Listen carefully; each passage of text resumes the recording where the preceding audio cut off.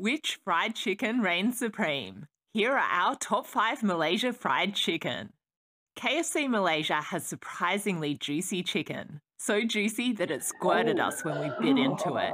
Marrybrown is an extremely popular Malaysian born fast food chain. Their chicken is really tender and succulent. Texas Chicken Malaysia has a really nice crunchy skin on their fried chicken, which is very satisfying. But if you want the best fried chicken in Malaysia, you need to go to a burger restaurant. Burger King Malaysia's fried chicken has a nice blend of spices, and their spicy chicken really packs a punch. But for us, McDonald's Malaysia won the day with its perfectly seasoned, moist chicken. But what do you think?